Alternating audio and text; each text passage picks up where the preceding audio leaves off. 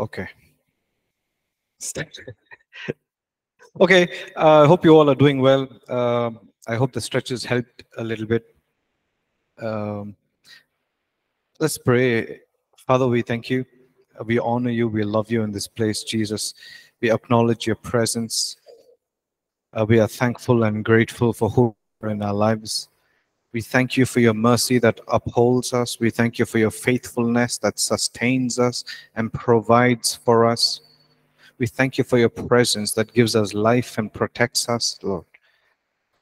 We give you all the glory. I pray in Jesus' name. Amen. Amen. Okay, um, so we move to chapter 4 today. We've completed chapter 3. We went through the foundations of praise in detail. Um, right, I, from where we get the word praise, um, from the name of Judah and uh, from the life of Leah and Rachel, um, and how God honors Leah eventually, and different Hebrew words for praise. Um, why are we uh, called to praise Him? Why are we encouraged to praise? When should we praise? Where should we praise? How should we praise? All of that. Uh, and so in this chapter, we learn a little bit about the power of praise. Okay? Uh, everybody say power. Right. You can say power a little bit more powerfully. Okay? Say power. Yeah, there's hardly any life in power. Say power. Power. Okay. yeah. Right. So uh, we learned a little bit about the power of praise in the last class, uh, as in we spoke about how God is enthroned, isn't it?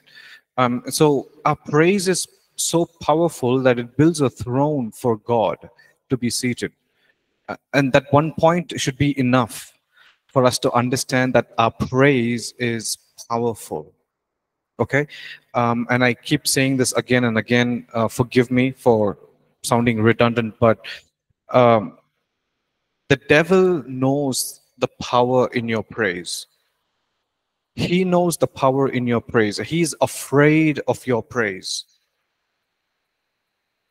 If, if there's anything that scares the devil is your praise. When you begin to praise God, he starts running right he he's just very scared and so that's what we try and learn a little bit uh, from two different characters of scriptures today uh, if, so in your bible let's go to second chronicles chapter 20 Second Chronicles, not Corinthians. Yeah, Joseph. Chronicles. It's after Genesis and before Revelation, somewhere there. It's,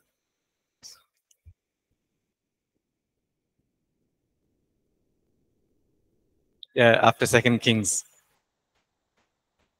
It's First Chronicles. After First Chronicles is Second Chronicles.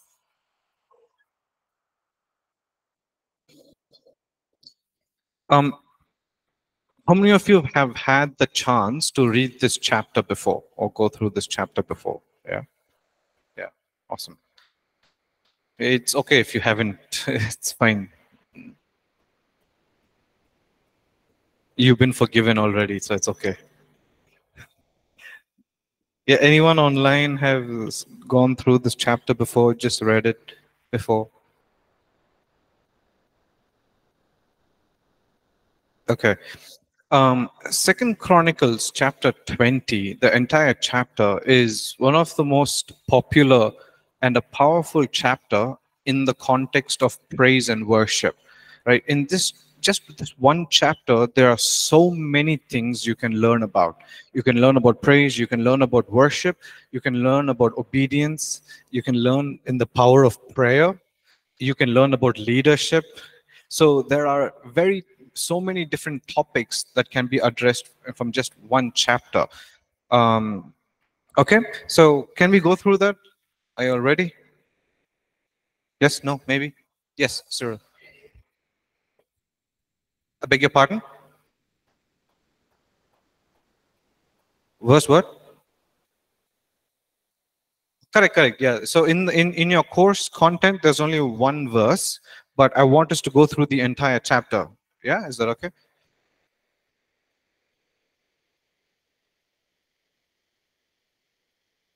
Verse 20 is like the climax, so we'll get to that. Okay. So this is how the story begins. Second Chronicles chapter 20. Um, just so we know, during this time, the king of Judah is, the name goes by Jehoshaphat. Okay, so he is the king of Judah at this time. So let's start reading verse 1. Second Chronicles chapter 20, verse 1. It happened after this that the people of Moab with the people of Ammon and others with them besides the Ammonites came to battle against Jehoshaphat.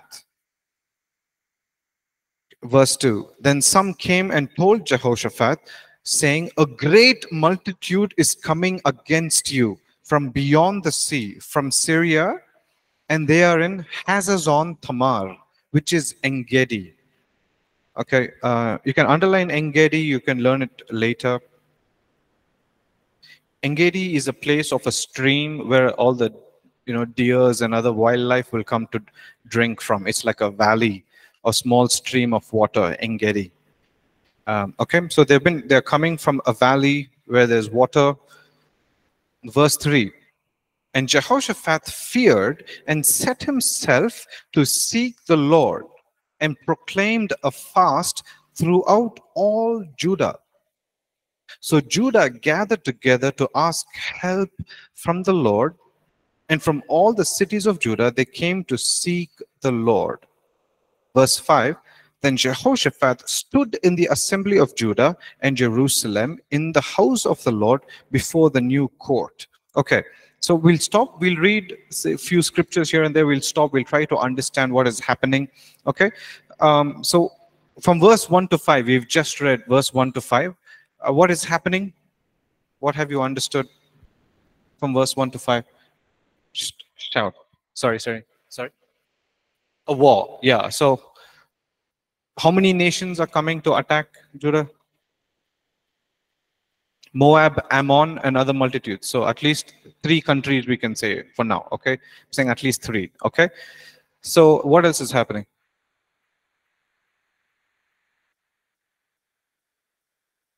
Sorry.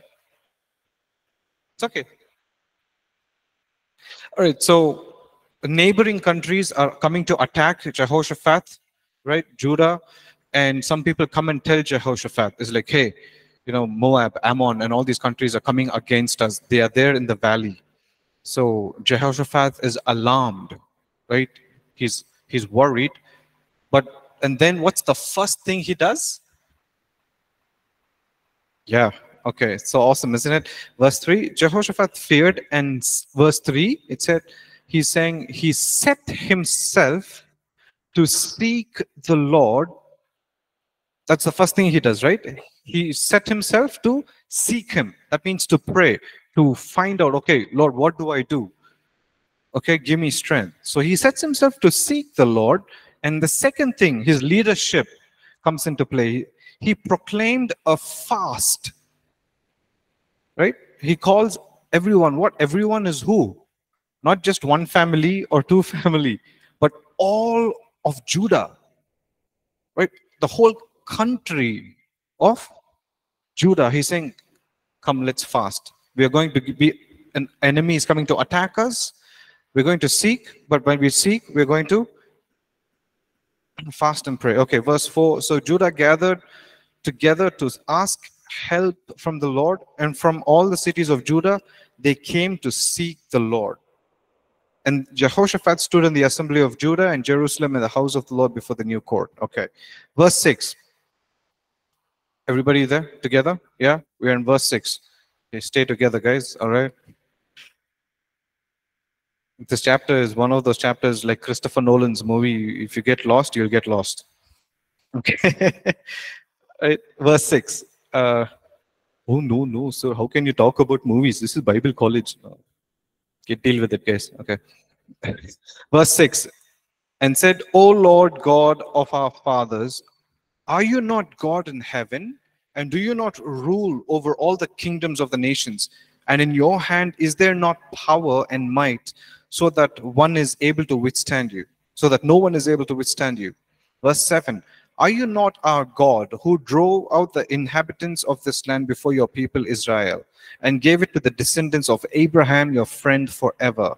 And they dwell in it and have built you a sanctuary in it for your name, saying, If disaster comes upon us, sword, judgment, pestilence, or famine, we will stand before this temple and in your presence, for your name is in this temple, and cry out to you in our affliction, and you will hear and save.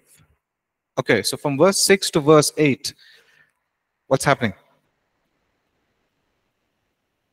Verse 6 to verse 8? Eh, just a little loudly, please, if you're.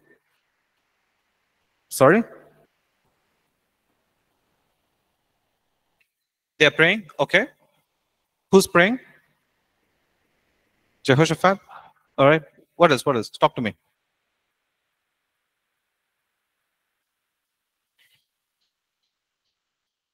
They're standing in the congregation and speaking to God. God. Okay. who is and the works he has done. Sorry, Gertrude. He has done. He's reminding God that who God is and what works he has done in the nations. Yes. So Jehoshaphat is also he's re, he's declaring again. He- He's not reminding God of who he is, but then he's declaring everything that he's done, so the people will also know. He's saying, "Are you not the God who brought us out of Egypt? Are you not the God who delivered us?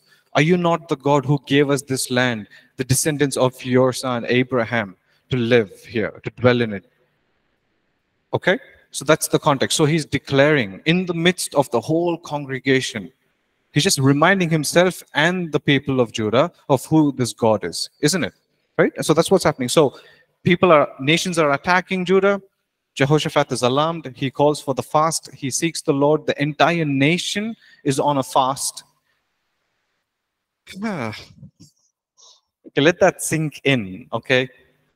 The entire nation people from every city and tribe came to seek the Lord. There's a revival that is happening. They haven't realized it yet, but that's what's happening. Okay? All right, let's go on. Um, let's go to verse 10. Okay? And now, here are, again, Jehoshaphat is continuing in his prayer. He's saying, uh, and now here are the people of Ammon, Moab, and Mount Seir, whom you would not let Israel invade when they came out of the land of Egypt, but they turned from them and did not destroy them. So this this verse is very important. Okay, guys, uh, pay attention. Verse ten. Now, what he's saying is, God tells the people of Israel when they enter the land of Canaan, they are to chase everyone out. Yes? They are to chase all the Canaanites out of the land. But Israel, the people of Israel, did not do that. Are you with me? They let the enemy stay with them in the land. It's very important. I can't stress how important this is. They let the enemy stay with them in the land. They compromised. They ignored the command of the Lord okay and they say it's okay they compromised now because they compromised and let the enemy stay there came a time where the enemy began to oppress them. That's exactly what jehoshaphat is saying here is we let them live but now they're attacking us. Okay? There's a spiritual lesson here for us is that if we compromise with the devil you give him a foothold he'll come inside and put one tent and reside in you. Okay, so that's another very spiritual lesson right there. Okay, let's go on. Verse 11. Jehoshaphat is continue, continuing. He says, Here they are rewarding us by coming to throw us out of your possession, which you have given us to inherit. Verse 12. O our God, will you not judge them? For we have no power against this great multitude that is coming against us. Nor do we do not we know what to do. I love this line. He says, We do not know what to do but our eyes are on you. Wow, that, that's such a beautiful and a powerful prayer. Right? He says, All these enemies are coming. I don't have power. We as a nation do not have the power to stand against them. Imagine a leader, a king of the land, the king of the land, and all the people are there.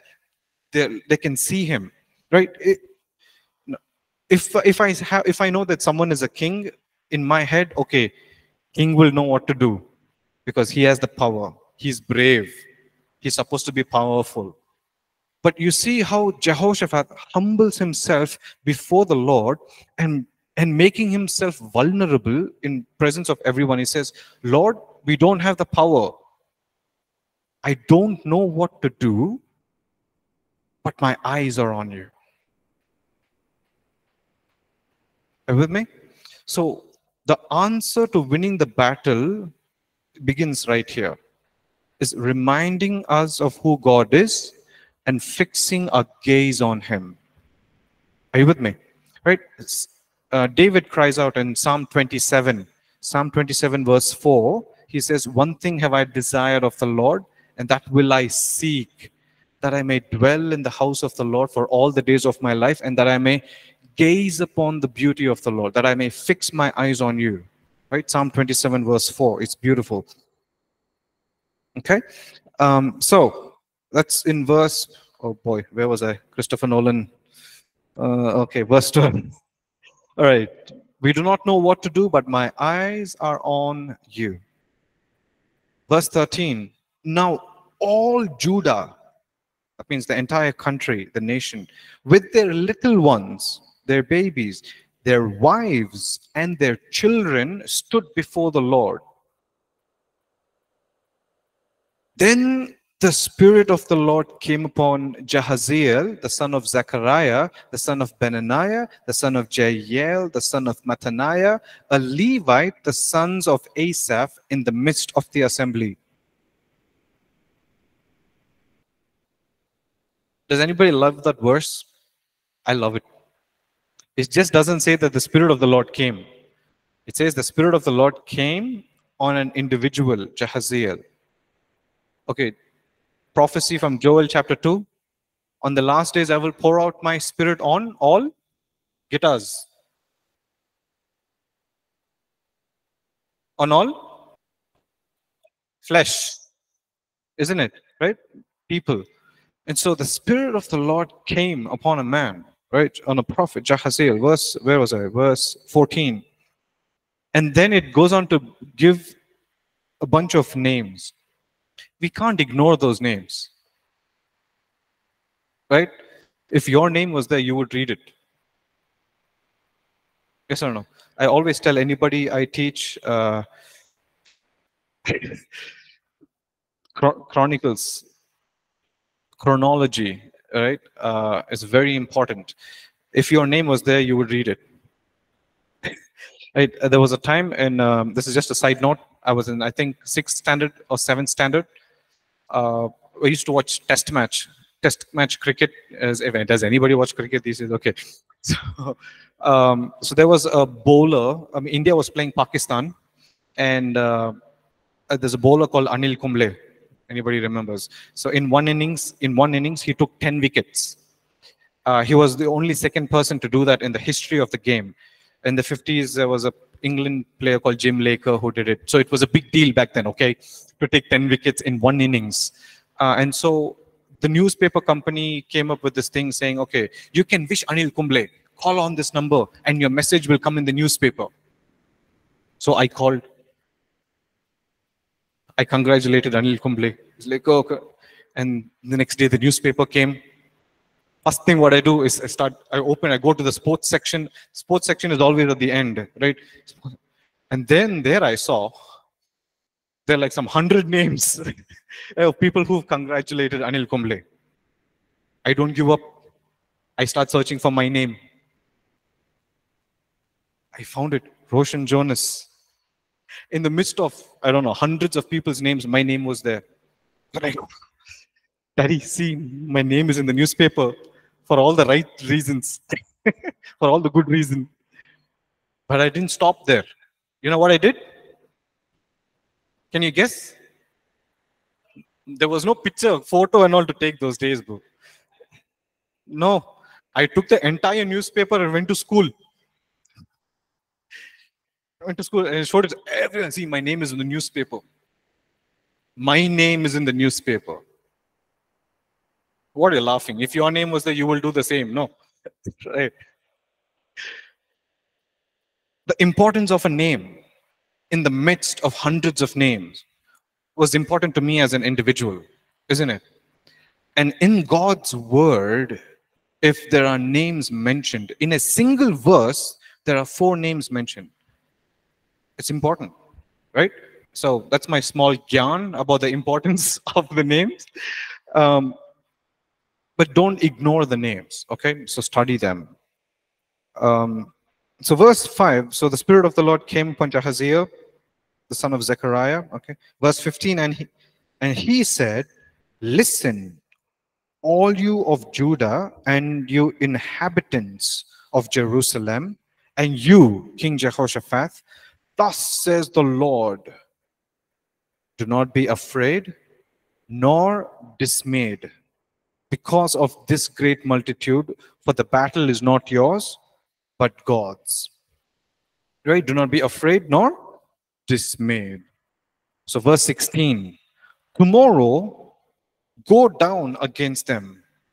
They will surely come up by the ascent of Ziz, and you will find them at the end of the brook before the wilderness of Jeruel. okay. You have to love God's humor. God is saying, okay, don't worry, don't be discouraged, don't worry. The battle is not yours. So tomorrow, go. They will also come, you also go. Right. If it was me, I'll be like, okay, you want me to go? Sure. That's what's happening. Uh, verse 17 You will not need to fight in this battle. Position yourselves, stand s- still, and see the salvation of the Lord who is with you. O Judah and Jerusalem, do not fear or be dismayed. Tomorrow go out against them, for the Lord is with you. That means his presence is going to be with you. Okay, so let's pause again. So, everybody's okay, you know? Yeah, you with me? Okay. So, what has happened? The Spirit of the Lord comes upon this person called Jahaziel, the son of Zechariah. He gives a word saying, Thus says the Lord, don't be afraid, don't be discouraged. Go into the valley, meet with them, but you will not have to fight. The battle belongs to the Lord. Yes? That's what's happened so far. Has the fighting begun? Have they won the battle? Not yet. Isn't it? Because tomorrow is the battle. Today, only God is saying, Don't worry, I'm with you. The battle is not yours. I will fight. God has just given the word. They haven't even entered the battle, they haven't even tasted victory yet. But God's word was enough for Jehoshaphat. Because in the next verse, see his response, verse 18. And Jehoshaphat bowed his head, Barak or Shah, with his face to the ground. Remember that? And all of Judah and the inhabitants of Jerusalem bowed before the Lord, worshiping the Lord. So even before they got the victory, just because God said, "Y- y- don't worry, they, their response was they fall down, they fell down in worship. Verse 19, then the Levites of the children of the Kohathites, of the children of the Korahites, stood up to praise the Lord God of Israel with the voices loud and high. Okay, verse 19 again, a small Bible study there is it says the Levites, who were the children of Kohathites and of the children of the Korahites. So, again, names. We know why Levites. Okay. Another thing, what we need to know or we need to study about is that Levi had three sons. Okay. Kohath, Gershom, and Merari. So there were three clans from the tribe of Levites, and each clan had their own responsibility. Okay, so among the three clans, the Kohathites were responsible in carrying the ark of the Lord, not anybody else from another clan. Only the priests from the clan of the Kohathites were responsible with the Holy of Holy duties. Okay, so that's why their names are mentioned there. It's simply not there for a joke. Okay, so the Kohathites stood and they praised the Lord God of Israel with voices loud and high. Shabach and Hallel and Yada and everything is happening in this verse. Again, it's very important for us to remember they have not entered the battle. The victory, they haven't even tasted yet. But just God said, the victory is yours. You don't have to fight. They are worshiping with a loud voice. They are celebrating. And verse 20, so they rose early in the morning. This is the next day and went out into the wilderness of Tekoa. And as they went out, Jehoshaphat stood and said, Hear me, O Judah, and you inhabitants of Jerusalem. Believe in the Lord your God, and you shall be established. Believe his prophets, and you shall prosper. Verse 21 and when they had consulted with the people, he appointed those who should sing to the Lord and who should praise the beauty of holiness. As they went out before the army, they were saying, Praise the Lord, for his mercy endures forever. Okay, now, how many of you have seen a war movie? War movies? War, war, fighting war movies. You've seen right?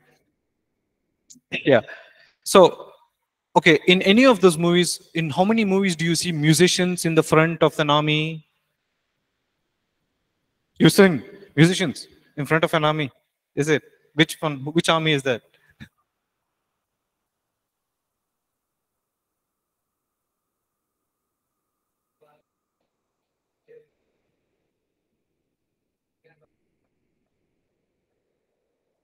It's like a bunch of musicians. okay, but I haven't seen one.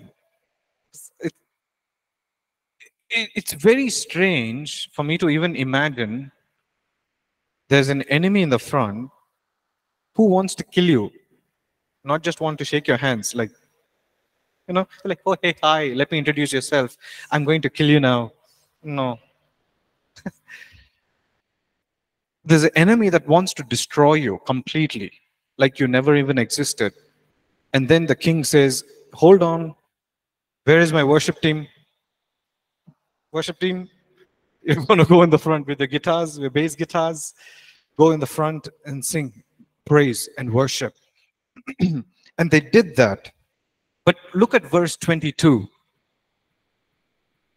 Verse 22 says, Now when they began to sing and to praise, the Lord set ambushes against the people of Ammon, Moab, and Mount Seir, who had come against Judah, and they were defeated. For the people of Ammon and Moab stood up against inhabitants of Mount Seir to utterly kill and destroy them and when they had made an end of the inhabitants of Seir, they helped to destroy one another. So the enemies, the three countries that attacked Jehoshaphat, the Judah, they killed each other. They didn't even have to fight. Isn't that amazing? Right? I mean, that's just an example of the power of praise is um, I really, really hope that we understand the power of praise. It, it's, it's, this is not just a story for us to read and feel nice. Like, oh, wow, what a story. Kya baat hai. Like, you know, it's, mass full, you know.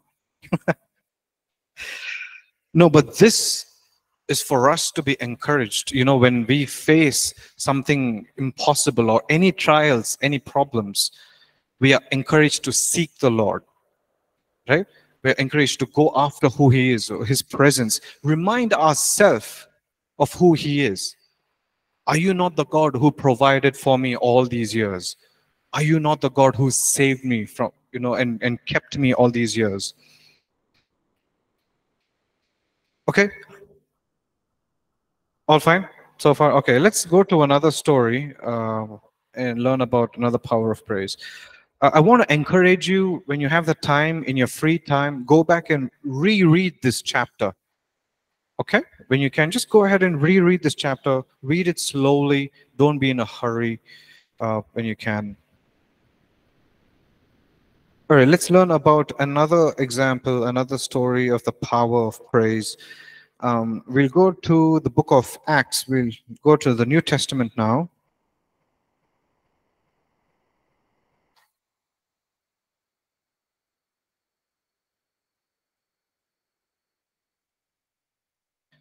I'm just going to put this up here.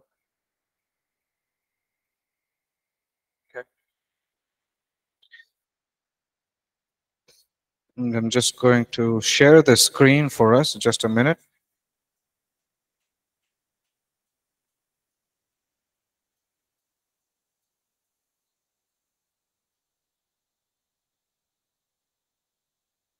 Uh, everyone online see the screen that I'm sharing? Yeah? Okay, cool. All right. now we are in Acts chapter 16. Let's go to verse, let's see. Okay, let's read from uh, verse 16, okay? Acts chapter 16, verse 16 onwards. Everybody's there, right? Okay. Acts chapter 16, verse 16. And now it happened as we went to prayer that a certain slave girl possessed with the spirit of divination met us, who brought her masters much profit by fortune telling. Verse 17. This girl followed Paul and us, Silas, and cried out, saying, These men are the servants of the Most High God who proclaimed to us the way of salvation. Verse 18. And this she did for many days, but Paul, greatly annoyed, turned and said to the Spirit, I command you to, in the name of Jesus Christ, to come out of her. And he, and he came out that very hour. Verse 19. But when her masters saw that their hope of profit was gone, they seized Paul and Silas Okay, the story is getting interesting from now. Verse 19. They seized Paul and Silas. That means they captured them. They dragged them into the marketplace to the authorities. Okay, underline drag if you haven't, or any word in your translation. They dragged them verse 20 and they brought them to the magistrates and said these men being jews exceedingly trouble our city, and they teach customs which are not lawful for us, being Romans to receive or observe. Verse 22 Then the multitude rose up together against them, and the magistrates tore off their clothes and commanded them to be beaten with rods. And when they had laid many stripes on them, they threw them into the prison, commanding the jailer to keep them safe. Having received such a charge, he put them into the inner prison and fastened their feet in the stocks. Okay. All right, so we all know the story. It's one of those Sunday school story, right? We know about Paul and Silas. Uh, okay. So Paul and Silas are captured by the city officials, by the government officials, right? they are dragged. That means hold you by the cloth. They drag you through the mud and everything, throw you in front of the city officials. How would you feel if you were dragged?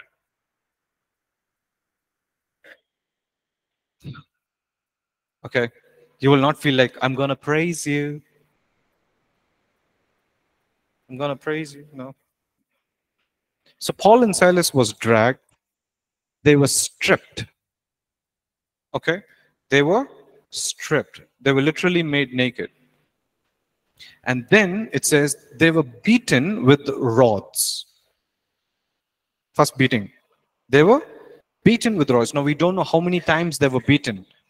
After they were beaten, they were given 40 minus 1 lashes, stripes. 40 minus 1, that is 39 lashes. Jati. Right? What is it?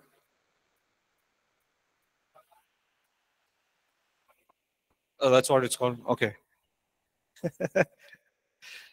so, and that punishment, right? That 39 lashes, it was called as grace. Why? Because the 40th strike will kill you. So they will hit you so much that they will leave you on the border of death, but they will not kill you. Okay? So they've been dragged, they've been stripped naked. Imagine the embarrassment. They've been beaten with rods and given 39 lashes. Now, this is just a painting uh, drawing from Google. They still look very clean. After, imagine after beating with the rods and 39 lashes, they will have more blood. Right? But one thing I never understood in this from the story is Paul, the Bible says, was a Roman citizen. Paul was a Roman citizen, but he's been accused that he's a Jew. Like, yes, he is, but he was a Roman citizen. Now, no Roman citizen could be should be punished like this. According to the law of the land, they should be taken to court and just be put in prison. No, no Roman citizen can be beaten or be striped like how Paul was. I never understood why Paul didn't say, hey, you can't do this to me because I'm a Roman citizen. He could have said that, but I don't know why he didn't say it. It's a point for us to ponder or study deeper because I've pondered about it. But let's come back to the story. They've been dragged, he's been stripped. Just imagine the mental effect and everything. Um, been beaten with rods, and then being lashed 39 times, just one before death. And as if that was not enough, it says, then their legs and their hands were tied to the stock. Now, you see this wooden block, right? That's called a stock. Now, um, so you see their legs are closed, right? Their two legs are closed, isn't it? Now, this is just an imagination drawing. The historians say sometimes the gap between two legs would be wide. They would spread their legs. So it's not as close as easy as it is. Are you with me? And they say that their hands were not free like this. Their hands were tied to their legs. Okay? Their hands were tied. Now, now being an adult man, you can't reach your leg easily. Yeah? Fine. See, I sit. I can't reach my leg easily, isn't it? Now my legs are closer. Imagine my legs were wide spread. Okay.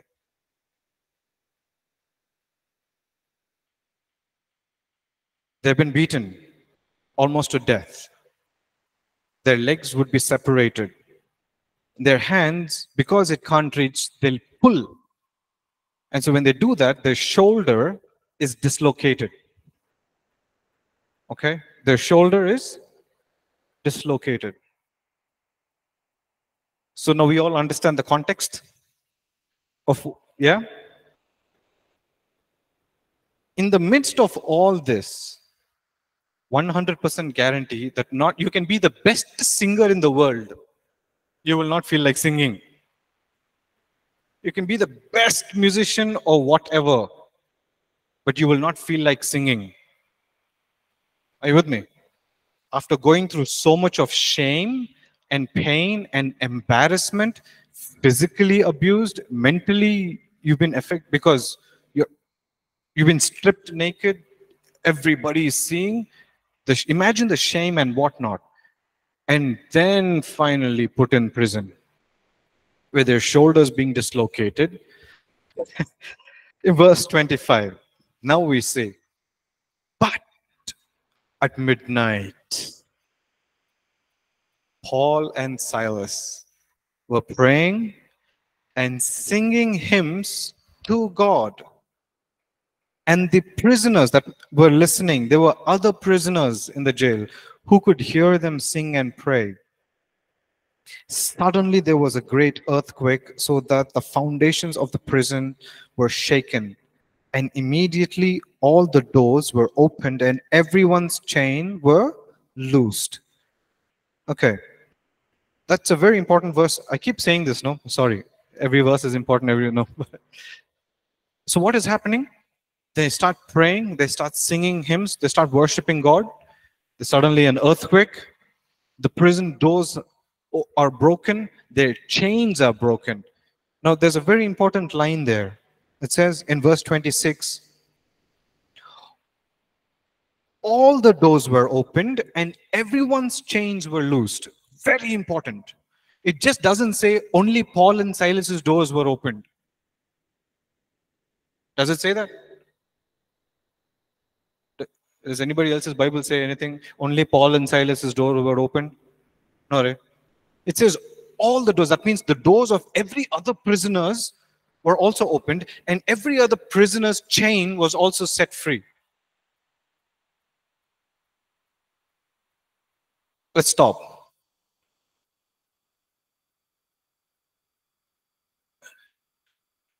You see, the power in your praise is not just for you.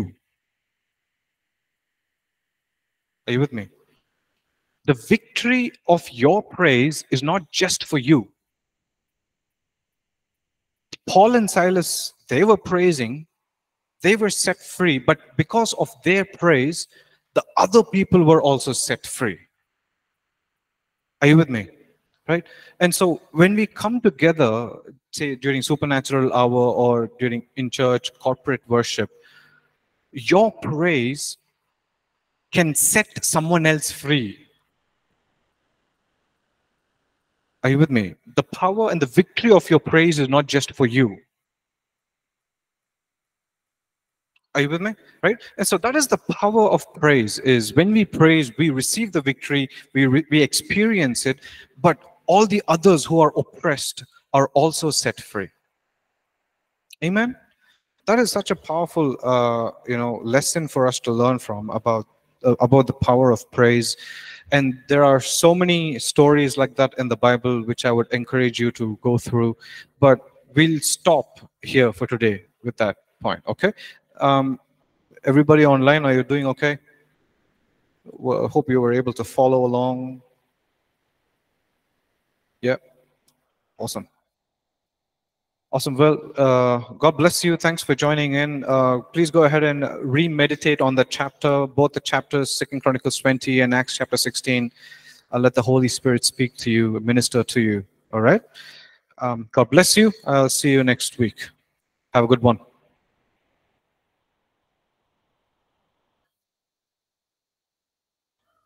Thank you. God bless you. You're welcome, guys.